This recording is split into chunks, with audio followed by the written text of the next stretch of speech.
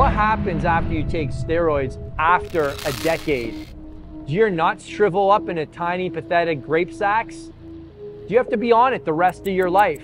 Or do you turn into an angry, incredible Hulk all day long? These were questions that I was asking myself before I started TRT about 12 years ago. Hey, I'm Vince Del Monte. I've been in the online fitness industry for 18 years.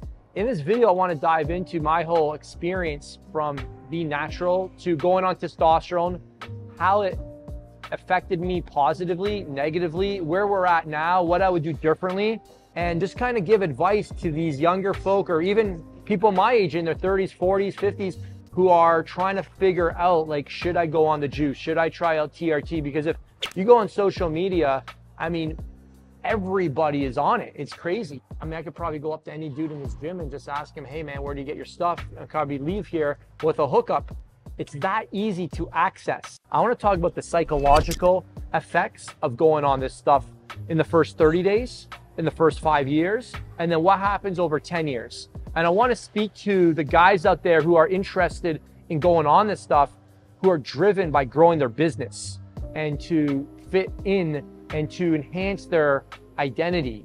If you look at my story, I always wanted to fit in.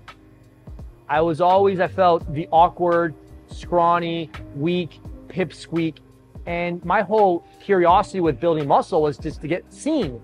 I wanted to be the guy the guys wanted to be around and the guy the girls wanted to be with. Like that was my goal. What's interesting is I was natural from the age of 22 till 31, so nine years.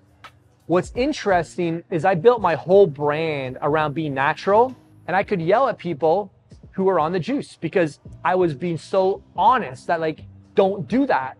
Don't go there because I wasn't doing it. And what blew my business up was being honest, was being natural. And I inspired a generation of skinny guys who wanted to build muscle the natural way. I was the billboard for that and I loved it. Now, I will say in that entire journey, in those nine years, I was always tempted.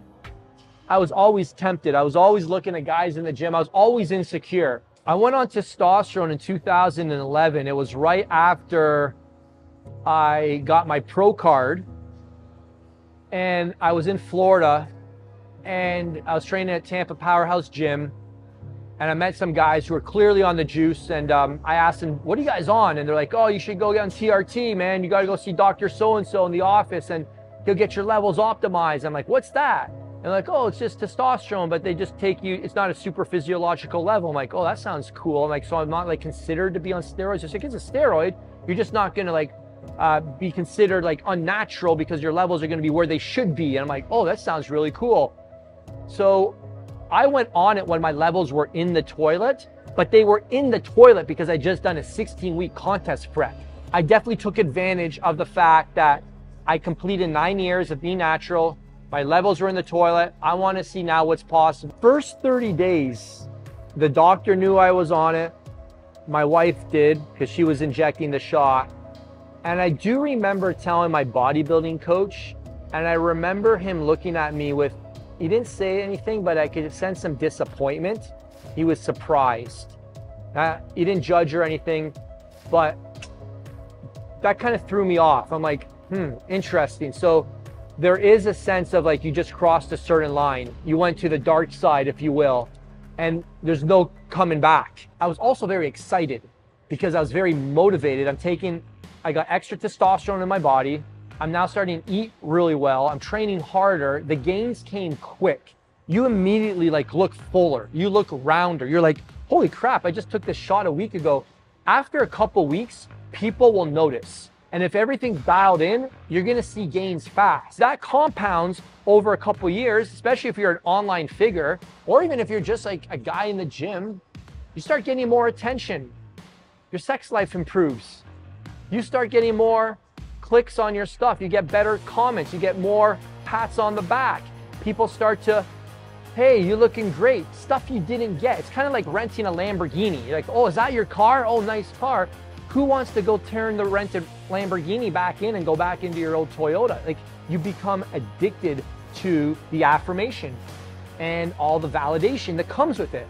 So next thing you know, you build a new identity as somebody that appears built and big and lean.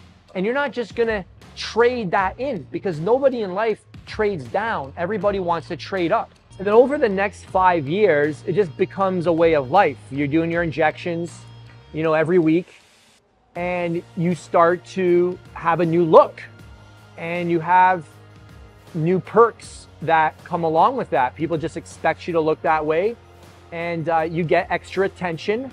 It's really nice. But what I noticed was that there's these gray areas with testosterone. You start meeting other guys on TRT, and I noticed that some guys were doing 200 milligrams, some were doing 300. Other guys were like, you say you could push it up to 400.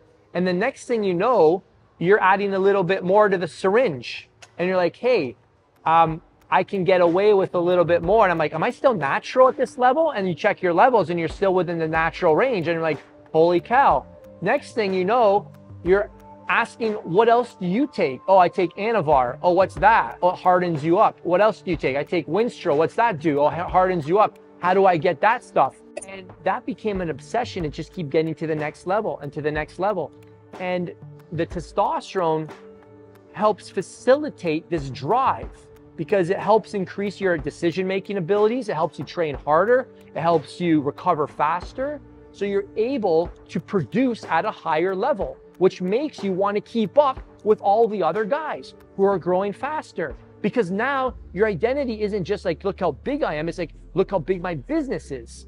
And I got to keep up with that. I was so driven to maintain and sustain this level of success that I wasn't willing to like go backwards or sacrifice anything that was, I felt contributing to how I got to where I got. And I was getting a lot more recognition from business colleagues as well, like Vince Del Monte's the man. Vince Del Monte's got the biggest fitness business mastermind. Vince Del Monte's at the top of his game. All the top sales guys wanted to come work for me. I didn't want to lose that stardom. And there was no chance I was giving up anything that had put me up on this pedestal. And I had no idea the starting a drug could lead to that consequences is that my moral conscience started to get the better of me. So that started to chip away at me. And then where it really hit a tipping point was in my personal life. And where my drive to have more fame, more success, more money, it got to a point where I disconnected from my children and from my wife to the point where my wife didn't want to be with me anymore. And to this day, I'm still separated. It's been 16 months. I don't know what my future entails, if it'll be a divorce or if there'll be reconciliation. Why the hell am I sharing all this right now? I see men at war with themselves. It's because they're not being raw and real with themselves. And they're not deciding what they truly desire. Like, what do you truly desire? At the core, we do want fame, success, money. Like, all of us men are driven to pursue that, right? But I think at the core, we want to be able to look in the mirror and love ourselves and love the way we did it. Not if we did it, but how we did it. And I want to now start a new story, a new journey, and look back.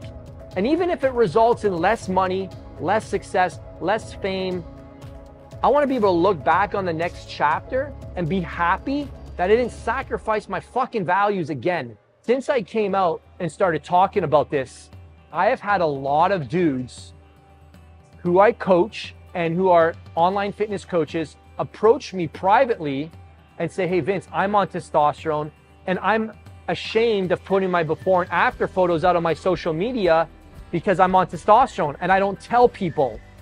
So all I do is put up my clients' testimonials and I can't like come full tilt and talk passionately and transparently and honestly because I've got this secret that's chipping away at me. So you guys have to take this shit seriously.